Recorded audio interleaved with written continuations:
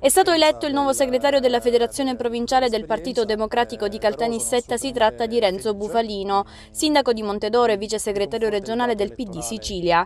Nei giorni scorsi infatti durante l'assemblea svoltasi presso l'istituto Testa Secca, presieduta da Massimo Arena in presenza del vice segretario nazionale Peppe Provenzano, Renzo Bufalino è stato eletto per acclamazione. Oh, non mi aspettavo questa nomina, però siccome c'è stato un momento di difficoltà e che è indubbio negare nel Partito Democratico anche nella nostra provincia, provincia.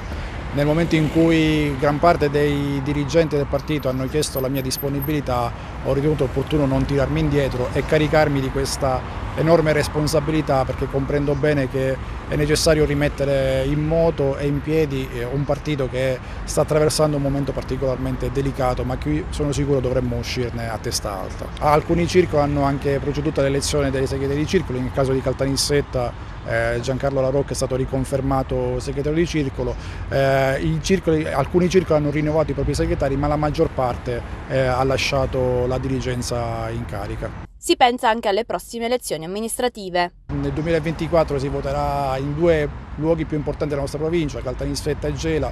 Io penso che il Partito Democratico debba esserci, debba esserci con una propria eh, offerta politica. Eh, e deve fare in modo di essere riconosciuto dagli elettori considerato che in questi anni eh, siamo stati spesso tacciati di essere lontani dai simpatizzanti del nostro elettorato. Uno dei temi sui quali pone l'attenzione è quello del mondo del lavoro. Sì, noi vogliamo essere anche più vicini con, oh, come primo atto non casuale ho voluto portare un mazzo di fiori al cimitero dei Carusi, l'ho fatto perché ritengo che sia doveroso non soltanto ricordare il nostro passato minerario, ma anche per ricordare i morti sul lavoro, perché il lavoro e il lavoro buono deve essere il punto di riferimento delle politiche del Partito Democratico e il lavoro è uno dei temi chiave di questa provincia che da troppo tempo è martoriata.